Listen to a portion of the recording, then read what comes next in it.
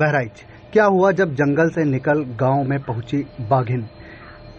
Motipur range के खड़िया गाँव का मामला। वीडियो हुआ वायरल। बलहा बहराइच।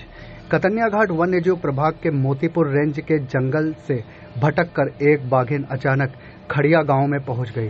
बाघिन को गाँव में देखकर गाँव वालों में हड़कंप मच गया। बाघिन ने किसी को नुकसान तो नहीं पहुँचाया, और कुछ समय गाँव में ही विचरण करने के पश्चात बाघिन एक बार फिर जंगल की ओर चली गई, लेकिन इस दौरान ग्रामीण दहशत में आ गए।